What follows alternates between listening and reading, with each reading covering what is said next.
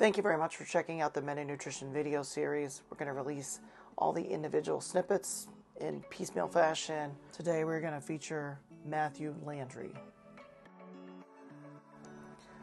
Let's show some love to the individual by liking, commenting, sharing, and connecting via social media with each individual. I'm also on the platform Buy Me a Coffee. This is a platform that allows creators like myself to create content and get rewarded in there a variety of payments. I've decided to do it via coffee. So if you'd like to buy me a coffee, you can do so. And if you want to send one to the uh, individual I'm interviewing, send it to me and I will send it their way. With that being said, thank you very much for being here with us today. I hope you really enjoyed the video and have a wonderful rest of your day. My name is Matthew Landry, and I'm a registered dietitian nutritionist residing in Redwood City, California. Growing up in southeastern Louisiana, food has always been a major aspect of my life. After all, eating is universal, it unites us. And very early on, I saw a connection between our food choices, what we eat, and how it influences our health, as well as the health of our planet. And these choices are linked to both acute and chronic diseases. I originally wanted to go to med school, but I discovered that the lifestyle and behavioral approaches of dietetics were much more appealing to me and also hands on.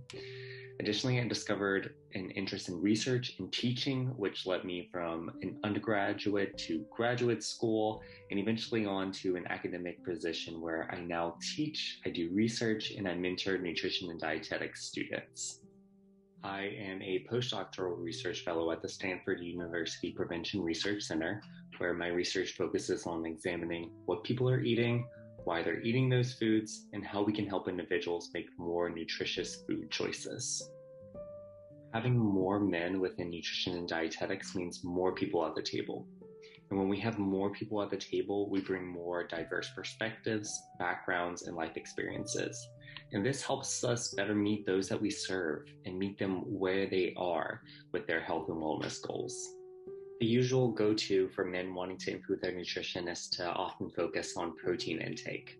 But we should also focus on carbohydrate intake, especially those fiber rich carbohydrates like whole grains, fruits, and vegetables. And when we do hone in on protein, there's a lot more than animal based meat or protein supplements or shakes. We can get a variety of protein foods to fuel our bodies um, from seafood or plant based sources like beans, lentils, peas, or soy products.